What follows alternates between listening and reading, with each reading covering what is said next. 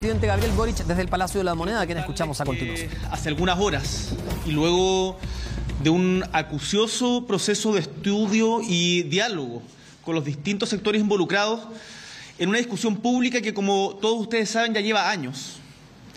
El directorio de Codelco ha tomado la decisión de avanzar hacia el cese de sus operaciones en la fundición de Ventana. Esto se realizará mediante un proceso gradual y responsable con la población y las y los trabajadores. Esta decisión que requiere para ser efectiva del concurso del Congreso Nacional, con cuya buena voluntad, por cierto, y colaboración esperamos contar, se ha tomado considerando los recurrentes casos de intoxicación que han habido en la zona de operación de la fundición, los constantes cierres temporales de escuelas, los niños y niñas enfermos y enfermas y la saturación medioambiental de la zona. Medioambiental de la zona. Desde que asumimos el gobierno hemos puesto a las personas, a sus anhelos y sus problemas en el centro de nuestras preocupaciones. Quiero que sepan que cada una de las acciones que estamos llevando a cabo las realizamos mirando el bienestar de toda la ciudadanía y especialmente de las mujeres, los hombres, niños y niñas que viven de modo más directo las consecuencias de un modelo económico y social que ha sido excluyente, que ha sido desigual y que se expresa de diversas formas, una de las cuales es la persistencia de las zonas de sacrificio. Y lo hemos dicho muy claro, no queremos más zonas de sacrificio.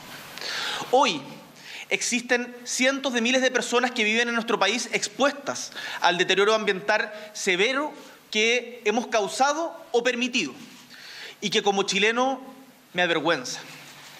Este es un problema que viene desde la creación del polo industrial en la zona en la década de los 50, cuando los estándares ambientales y la contaminación no eran parte de las preocupaciones del desarrollo.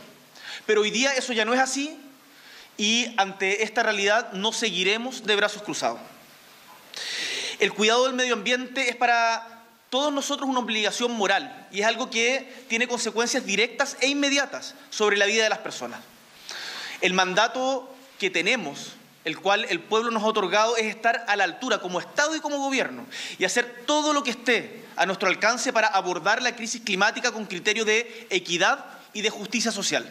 Y eso es justamente lo que estamos haciendo.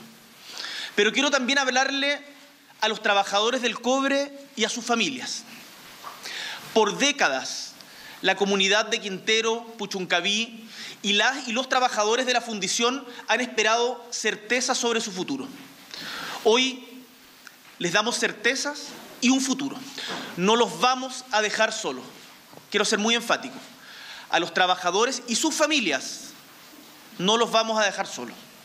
Nuestro gobierno está tomando todas las medidas necesarias para que esta decisión que va en directo beneficio de la población no genere consecuencias negativas sobre los y las trabajadoras de la empresa. Y puedo afirmar con responsabilidad que ningún trabajador ni trabajadora se quedará sin su empleo en la compañía.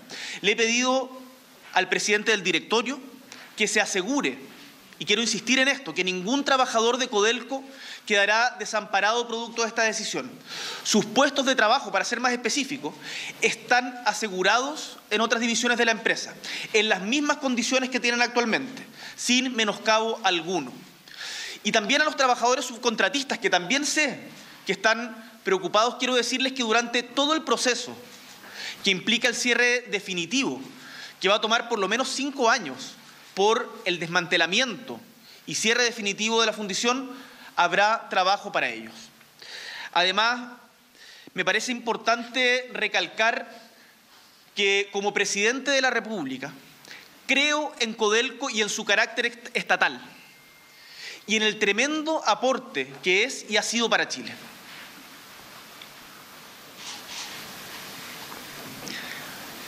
Compatriotas, estoy comprometido con el fortalecimiento de esta empresa que sabemos es estratégica para nuestro país. Cuando el mundo está avanzando hacia la electromovilidad y a la descarbonización, con Chile siendo parte de los países que lideran también este proceso.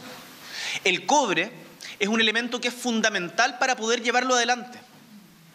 Por eso quiero ser muy claro con todos ustedes y despejar cualquier fantasma al respecto. Como presidente de la República no voy a permitir jamás, jamás la privatización ni directa ni indirecta de Codelco.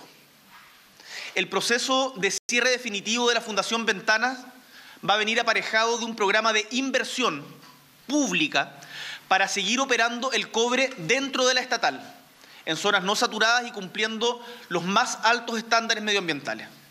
Sobre esto, prontamente podremos presentar públicamente el plan de inversión para que todos los trabajadores y todos quienes están genuinamente preocupados por este tema puedan tener la tranquilidad de que nuestro objetivo es fortalecer la empresa.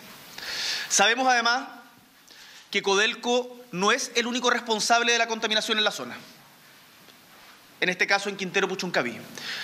Allí operan 16 empresas que han contribuido al escenario actual que no es tolerable para la población. Como gobierno lo sabemos y estamos comprometidos con proteger a las personas. Y es por eso que hace solo una semana la Superintendencia del Medio Ambiente tomó la decisión histórica de limitar preventivamente el funcionamiento de todas las industrias sospechosas de ser responsables del incidente. Por eso, paralelamente a este proceso, vamos a reforzar la fiscalización al resto del polo industrial, exigiendo el cumplimiento de los más altos estándares medioambientales. No queremos más colegios cerrados, no queremos más niños enfermos por responsabilidad directa o indirecta del Estado de Chile.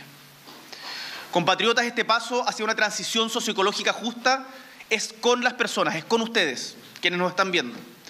Y también es una medida que va en la dirección del crecimiento inclusivo y de una economía que sea armónica con el medio ambiente. Es una decisión difícil, pero que tomamos pensando en los niños y en las niñas de Quintero, de Puchuncaví, con quienes me he reunido, con su familia, y de todo Chile. Y lo vamos a hacer sin dejar a nadie atrás. Los trabajadores y sus familias pueden contar con esta certidumbre. Muchísimas gracias.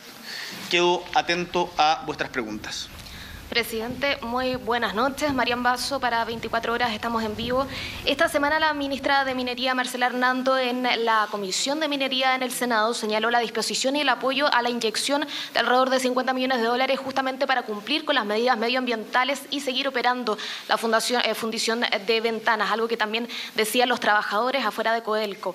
Eh, en ese sentido, la decisión fue apoyada transversalmente por todos los ministros a los que le compete la materia y hubo aprehensiones por parte de algunos ministros o ministras y cuáles fueron esas aprehensiones? Es una buena pregunta y quiero ser bien transparente en eso. Por eso estamos en conjunto acá con la ministra Hernando, la ministra de Minería, con la ministra de Medio Ambiente, Maisa Roja. Eh, esto lo discutimos con varios de los ministerios involucrados y quiero que sepan que en el gobierno no hay dos opiniones respecto al camino a proceder. Siempre eh, uno discute cómo se ve asegurar, por ejemplo, la certeza de los trabajadores de que puedan tener empleo, de que esto no significa un menoscabo para la familia. Hubo ministras que levantaron también la atención respecto de la situación de las mujeres trabajadoras. Eh, que son pareja de alguien que trabaja en la estatal, porque si es que se van a otra función, ¿qué pasa con sus trabajos? Nos tenemos que preocupar también de eso. Este proceso también tiene que tener una perspectiva de género. Y en ese sentido, con la ministra Hernando no tenemos ninguna diferencia. Lo que señaló la ministra, cosa que es un hecho de la causa, es que para cumplir con el actual decreto que regula habría que invertir del orden de los 54 millones de dólares en la Fundición Ventanas. Pero ni aún así, y esto es lo grave, ni aún así se podría captar el 99% de los gases que se emiten. Y eso para nosotros nos lleva a la convicción de que es mejor realizar una inversión, ya no en una fundición que tenga todos los años que tiene esta, en una zona que está saturada, en donde hay una crisis medioambiental y social que es ineludible, sino realizar esa inversión en la empresa de Codelco, en otra zona con los más altos estándares ambientales y con eso no tenemos ninguna diferencia con la ministra. Presidente, buenas noches. Eh, Codelco en su comunicado, usted también lo, manifestaba, eh, habla de un plan laboral para ofrecer una transición justa a los casi 350 trabajadores de la fundición. Los trabajadores dicen que son más de 300 reubicaciones, ellos hablan de miles. Si es que pudiera precisar esas cifras, también qué pasa con los subcontratistas más allá de los cinco años del periodo de cierre eh, de la fundición Ventanas y cómo enfrenta el gobierno esta amenaza de paro nacional que han anunciado los mismos trabajadores. Yo le quiero decir a los trabajadores y trabajadoras de Codelco de que acá desde el gobierno estamos preocupados por fortalecer la empresa, de que queremos trabajar esto en conjunto con ustedes, que durante muchos años ha habido incertidumbre respecto a la situación de Quintero Puchuncaví. Hoy día estamos dando reglas claras y asegurando de que ningún trabajador contratado por la empresa Codelco se va a quedar sin trabajo y que los subcontratistas, que también son importantes, van a tener trabajo producto justamente del el proceso y de la transición que toma llevar adelante esto, porque es un desmantelamiento que es muy complejo y esto toma por lo menos cinco años. Eh, ahora, esto requiere el concurso del Parlamento. Yo quiero decirles que acá no hagamos un gallito, acá no podemos tener una contradicción entre una contradicción permanente entre trabajo y medio ambiente. Tenemos que lograr conciliarlos. Eso es lo que queremos hacer. A los trabajadores de Codelco cuentan con toda mi disponibilidad para poder llevar adelante esto, que lo va a liderar nuestra ministra de Minería y nuestra ministra de Medio Ambiente. Eh, y está, bueno, nuestro subsecretario, no lo había visto, perdón, nuestro subsecretario de, Salud también. Y, por eso me parece muy, muy importante que, sepan que las puertas de la conversión están abiertas. Pero acá no podíamos seguir eh, postergando y pateando una decisión que eh, el Estado chileno se demoró demasiado tiempo en tomar. Presidente, buenas noches. Eh, Mario está ahí en Fogate. Y a raíz justamente del tema del cierre, eh, habla que se, a, va a fortalecer la fiscalización al restante empresa del polo industrial. ¿Hay medidas o hay alguna planificación que implique también estudiar la salida de estas empresas o el cierre de estas empresas de la zona justamente para evitar todo este tema, considerando que, que todas estas empresas, si se aumentan los cierres, pueden obviamente entrar a, a pérdidas y no les, salga, no les salga conveniente económicamente mantenerse en la zona? Mira, eh, las empresas tienen el deber, y eso es lo que estamos también tratando de dar el ejemplo con Codelco, de elevar sus estándares medioambientales. No podemos tener un desarrollo justo que sea a costa de las comunidades. No puede ser que los colegios cierren antes que las empresas que están contaminando. Por lo tanto, en la medida en que se eleven esos estándares, yo, en la medida en que las empresas cumplan con la normativa, yo creo que vamos a llegar a un punto de equilibrio. Pero si, hay empresas que no puedan seguir operando, bueno, así tendrá que ser. Nosotros acá no me quiero pronunciar respecto a alguna en específico, pero vamos a fortalecer la fiscalización tal como ya lo contaba, se hizo durante la semana pasada con el resto de las empresas del polo industrial y no solamente de este. Estoy pensando también en otras zonas de sacrificio. Estoy pensando en Tocopilla, estoy pensando en lo que ha sido la historia de Coronel. Y también quiero que sepan, ya aprovecho la pregunta, hemos aprendido de la historia y no queremos repetir lo que sucedió en otros cierres de proyectos en donde hubo reconversiones fallidas de los trabajadores y donde finalmente la pobreza se instaló permanentemente en la zona. Ese no es el camino que queremos seguir y por eso lo vamos a conversar en conjunto con los trabajadores para poder sacar esto adelante. Confíen en que acá está la disposición para poder conciliar de la mejor manera desarrollo justo, medio ambiente, el derecho a vivir en un medio ambiente libre de contaminación y trabajo digno para todos y todas.